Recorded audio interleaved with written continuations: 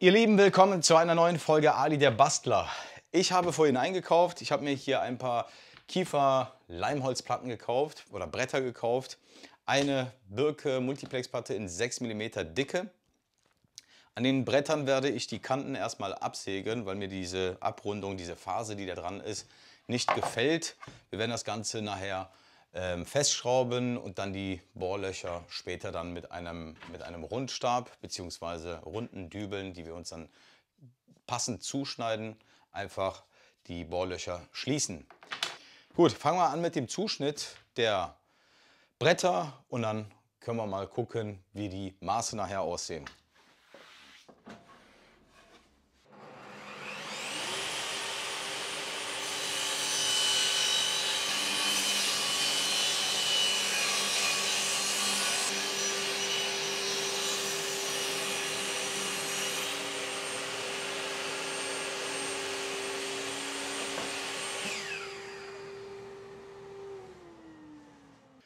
So, jetzt messen wir hier mal unsere 120 mm von der Kante ab. Machen wir dann hier erstmal mit einem Winkel unsere Markierung.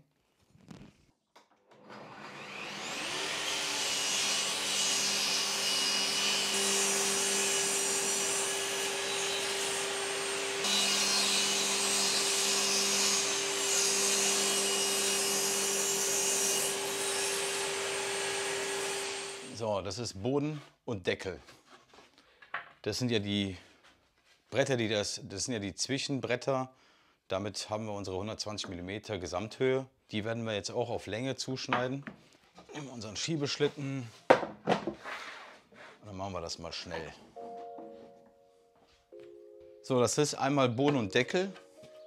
Diese drei 120 mm hohen Bretter zugeschnitten und darauf kommt nachher der Deckel drauf.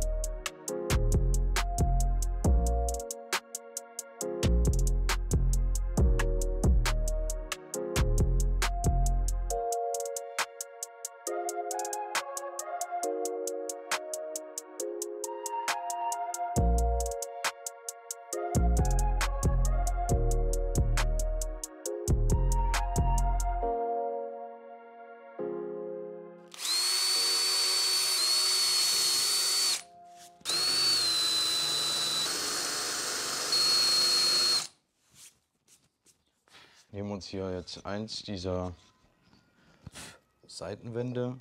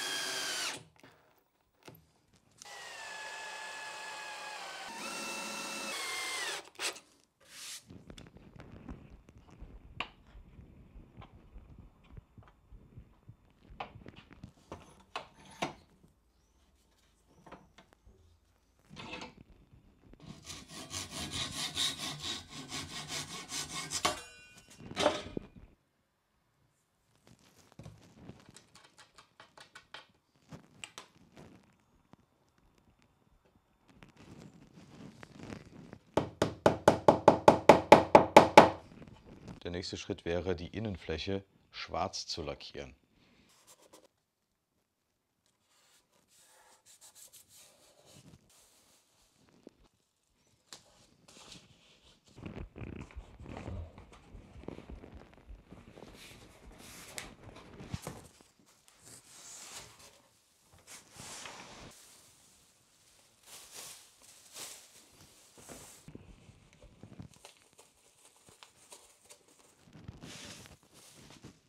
Mal los.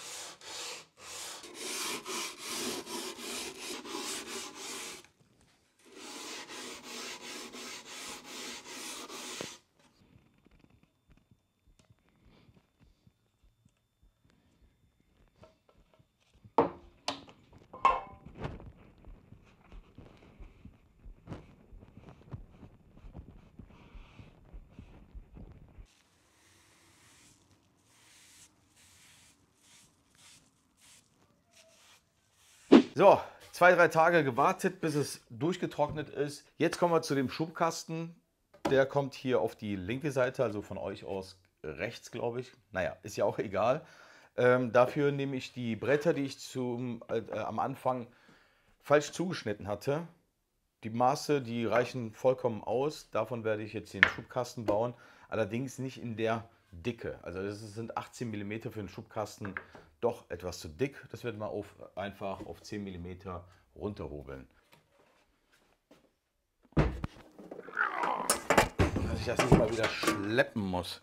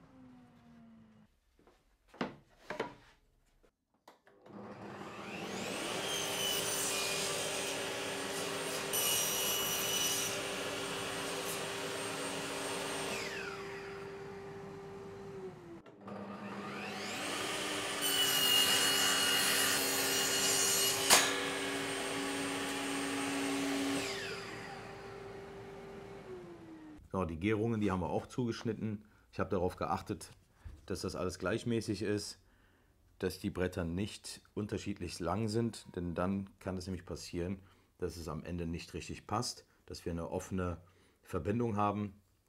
Ich hoffe, dass das jetzt nicht so wird. Werden wir später sehen. Vorher, bevor wir das Ganze verleimen, werde ich dem Ganzen eine Nut einfräsen, 6 mm, 6,2, denn da kommt nämlich die Bodenplatte, 6 mm Multiplex und dann können wir das Ganze verleimen. Wir uns mal den 6 mm Nutfräser aus und werden erstmal einen Durchgang machen mit 6 mm. Dann werden wir den Anschlag etwas verschieben und dem Ganzen dann so circa 6,5 oder 6,3 verpassen, weil das Brett oder die Platte, die hat nämlich ein Maß von 6,1, 6,2. Fahren wir das Teil jetzt mal kurz hoch.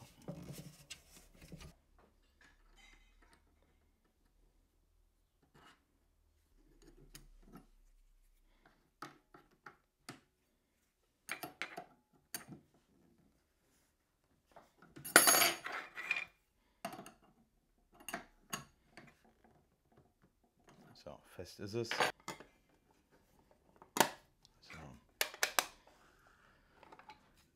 Wir werden jetzt so circa die Hälfte nehmen.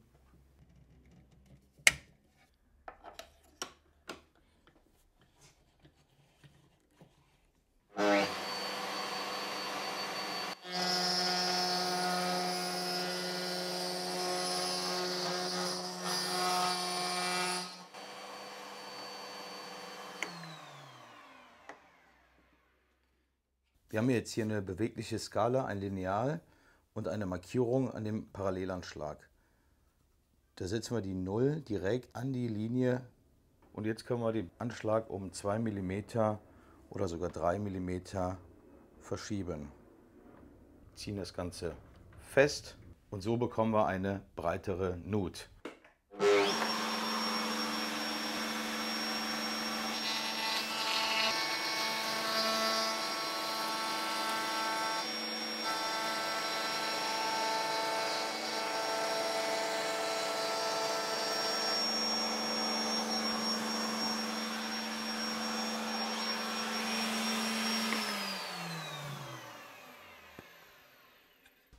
Bodenplatte.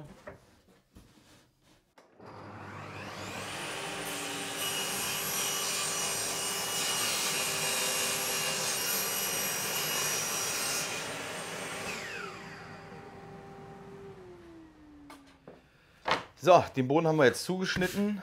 Jetzt können wir das Ganze verleimen. Dazu hole ich mir meine Spanngurte oder mein Spanngurt. Vielleicht reicht ja einer. Ein bisschen Leim. So, ein langes, ein kurzes Stück.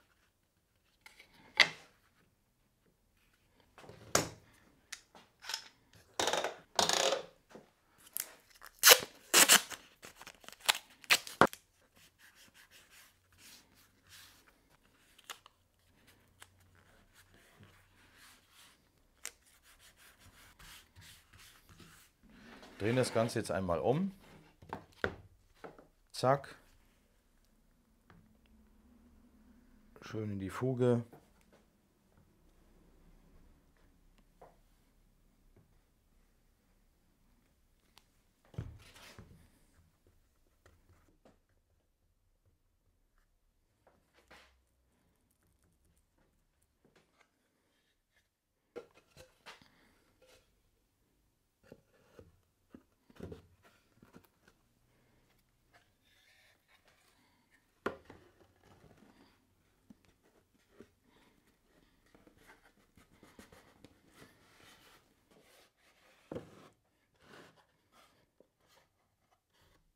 Mit dem Spanngurt werde ich dem ordentlich Druck geben.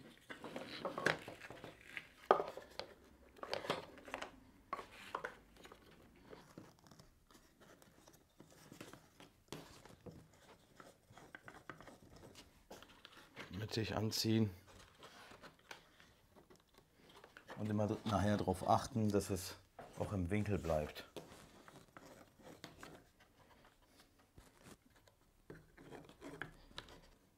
Ob das alles im Winkel ist.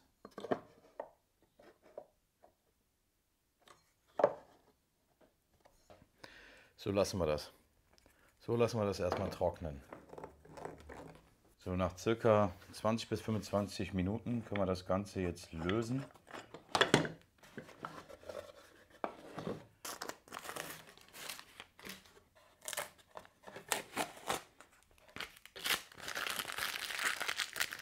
Wir gucken erstmal, ob das Ganze überhaupt in, diese, in diesen Kasten reinpasst.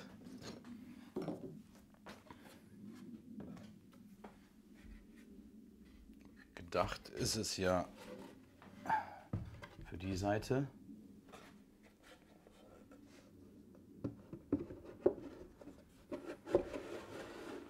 Ja, Bisher passt es. Wird ein bisschen eng.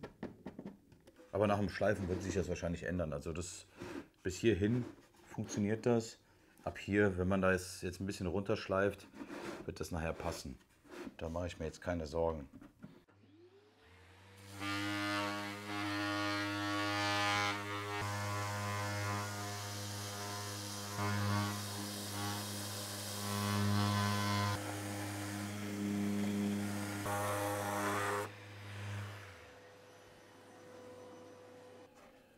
Kanten auch mal leicht abschleifen. Sonst wäre es zu scharfkantig. Geschliffen. Jetzt testen wir das nochmal. Ja, und dann gucken wir, ob das passt. Passt genau. Und hinten habe ich jetzt etwas Platz übrig. Da kommt auf jeden Fall eine Leiste hin. Das mache ich dann hier aus den Resten. Das wird dann der Stopper sein.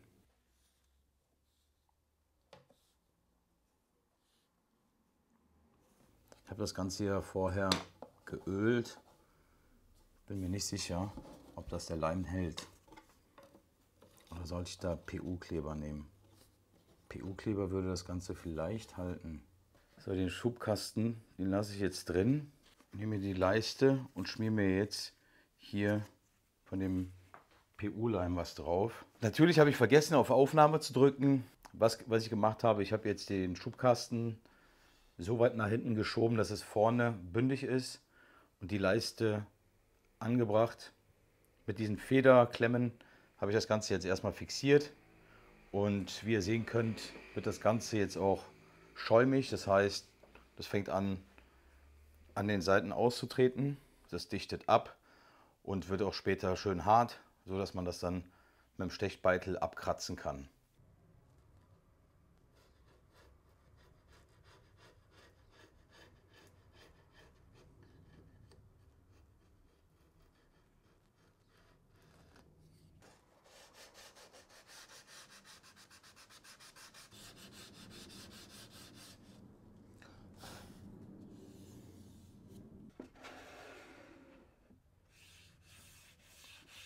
Jetzt ist natürlich die Frage, wie kriegen wir das auf? Wir brauchen dafür einen Griff. Nur woraus soll ich das machen? Aus Holz oder aus einem Stück Leder? Dann machen wir uns einen Griff aus Leder. Das wäre zu hell. Irgendetwas kontrastvolleres. Das wäre was. Ah, Moment mal. Wie wäre es eigentlich, wenn ich diese Aussparung, die ich hier reingefräst habe, mit Leder beklebe? Das wäre doch auch eine gute Idee, oder? Ich probiere das mal aus. Ich probiere das mal aus.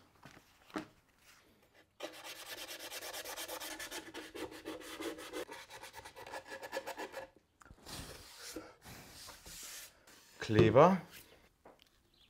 So.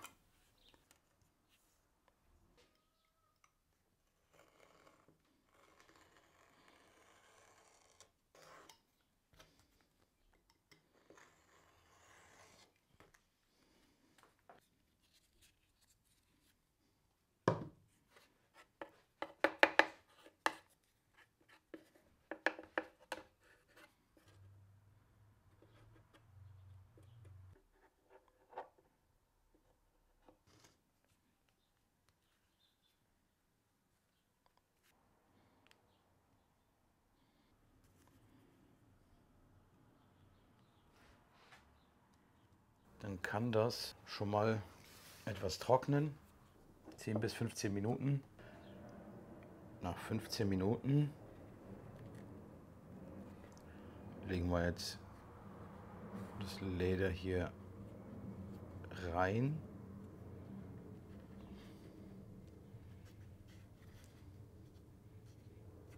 Und sollen laut Beschreibung kurz, aber kräftig drücken.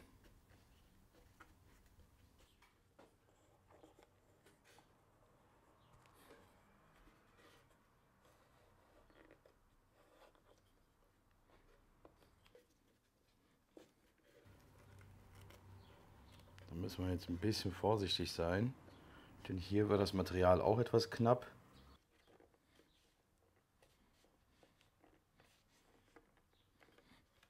So, jetzt kann das hier auch trocknen. Währenddessen gehe ich was essen. Dann schneiden wir die überstehenden Stellen sauber ab. Nachdem jetzt das Leder bzw. der Kleber trocken ist, nehmen wir uns hier eine sehr, sehr scharfe Klinge und fahren bündig mit der Holzoberfläche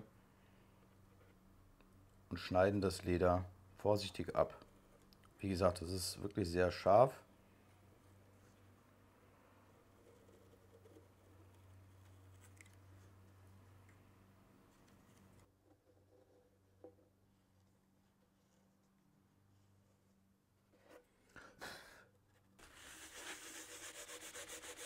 Mit etwas Bienenwachs können wir das Leder schön einreiben.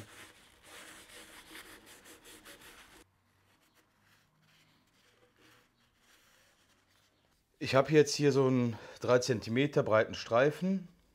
Das werden wir jetzt doppelt zusammenlegen. Dann schneide ich mir hier das Stück mal ab.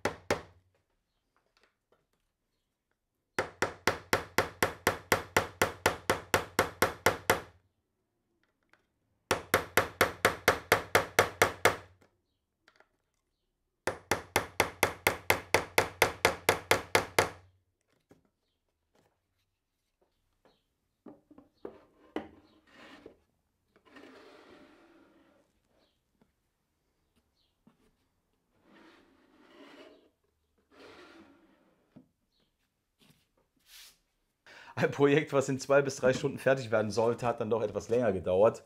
Gefällt mir viel besser als dieser ja, einfache schwarze Lack. Hätte man auch nehmen können, aber mit dem Leder sieht das Ganze natürlich viel, viel edler aus und wertet das ganze Projekt nochmal ein bisschen auf. Liebe Freunde, ich hoffe, es hat euch gefallen. Mir hat es auf jeden Fall Spaß gemacht. Wenn ihr Spaß an solchen Projekten habt, dann könnt ihr gerne meinen Kanal abonnieren. Wir sehen uns beim nächsten Mal wieder. Macht's gut. Bis dann. Tschüss.